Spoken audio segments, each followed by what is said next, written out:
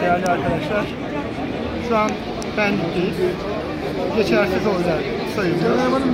Partilerimiz burada, halkımız burada. Ne kimsenin hakkını yeme derdindeyiz ama asla da kimsenin de hakkını yemeyeceğiz. Yeni başladı sayım. Şu ana kadar açılan sandıklarda herhangi bir fark yok. Sayım süreci devam ediyor.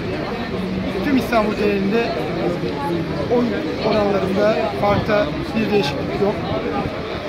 Bu bir gün içinde, iki gün içinde bu iş sonuçlanacak ve hak yerini bulacak diye düşünüyoruz. Halkımız merak etmesin. Bütün siyasi partilerin gözlemcileri verilen oylara sahip çıkıyor, verilen oyları kontrol ediyor ve sonuçta kazanan İstanbul olacak, sonuçta kazanan Türkiye olacak, sonuçta kazanan halkımız olacak.